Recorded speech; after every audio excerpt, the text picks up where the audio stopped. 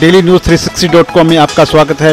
पेश है आज की बड़ी खबर। असम स्टेट हाउसिंग बोर्ड और राज्य सरकार की सोच क्लिक कर गई तो प्रदेश में खुद के घर का सपना संजोए। अधिकांश लोगों की मुराद साल के अंत तक पूरी हो जाएगी। पूरे राज्य में चले डिमांड सर्वे में अभी तक चौरासी हज़ार आवासीय फ्लैटों की मांग सामने आई है। अकेले सरकार इस ज़रूरत को पूरा नहीं कर सकती। बोर्ड के अध्यक्ष जादव डेका ने कहा की उनका भी सपना है की आम मध्यम और थोड़ा सा उच्च मध्यम वर्ग के परिवारों के पास अपनी जेब के अनुकूल सीमित आकार का ही सही अपना कहने वाला घर तो हो जाए। राज्य सरकार के टिहू ऐसी क्षेत्र क्षेत्री तक राज्य राजधानी क्षेत्र घोषित कर गुवाहाटी के महानगरीय विस्तार को अंतिम रूप दे दिया है। मुख्यमंत्री आवास योजना के तहत हाउसिंग के लिए 10 फ़ीसदी छूट के साथ सीमेंट में सब्सिडी तथा अन्य निर्माण सामग्रियों में रॉयल्टी छूट और ज़मीन आवंटन में महज एक रूपए का टोकन अमाउंट बतौर प्रीमियम देना होगा। एफएआर में भी नई नीति के तहत 300 फ़ीसदी छूट की बात है। देखना है कि गुजरात व मध्य प्रदेश की तरह यहाँ भी सरकार मुफ़्त में बालू उपलब्ध करा पाएगी या नहीं। E W S L I G M I G category के आवासीय घर पाँच सात नौ ग्यारह व पंद्रह लाख रुपयों के वर्तमान प्रस्तावित मूल्य पर लॉटरी पद्धति से बिक्री किए जाएँगे।